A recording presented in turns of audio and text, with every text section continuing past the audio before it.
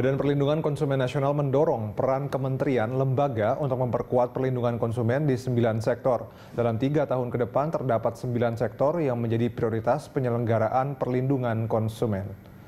Sembilan sektor itu adalah obat, makanan dan minuman, jasa keuangan, jasa pelayanan publik, perumahan, properti, jasa transportasi, jasa layanan kesehatan, jasa telekomunikasi, barang konsumsi tahan lama, dan e-commerce. Kepala BPKN Ardiansyah Parman mengatakan kementerian dan lembaga yang membidangi sembilan sektor tersebut bertanggung jawab menyukseskan Stranas PK. Untuk itu, BPKN akan mengawal dan memantau pelaksanaannya. Bagi yang lalai bisa dikenakan sanksi administrasi.